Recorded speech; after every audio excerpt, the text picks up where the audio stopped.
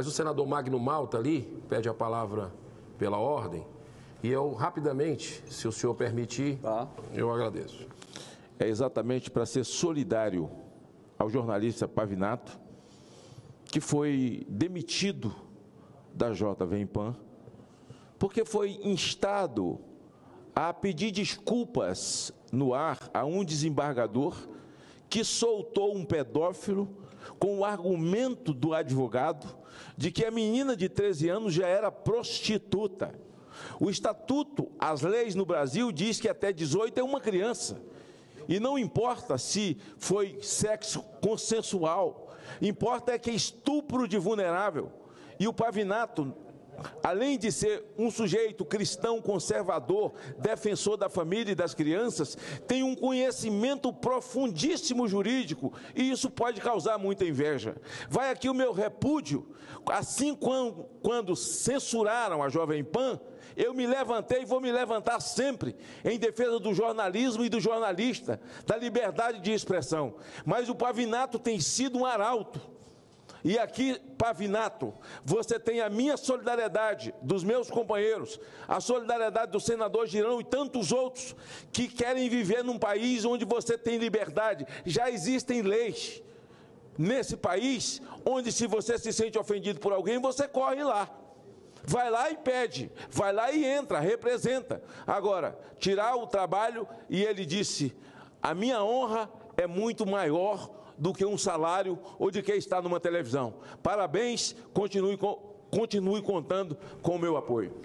Obrigado, meu querido senador Stevenson. Eu queria, senador Steve, se o senhor me permite, é, referendar integralmente as palavras do senador Magno Malta.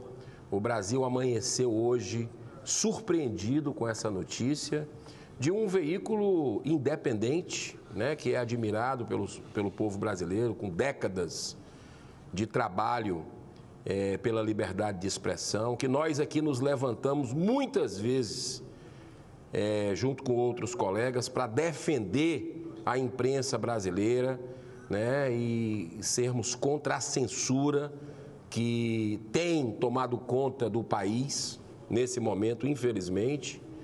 Quem é conservador, quem é de direita, está sofrendo uma perseguição implacável. E foi uma surpresa muito grande ver um jornalista jovem, brilhante, corajoso, ousado, ter sido demitido por sua opinião. Ter que se retratar de algo que são princípios e valores dele, que ele prega há muito tempo e que ele citou o fato.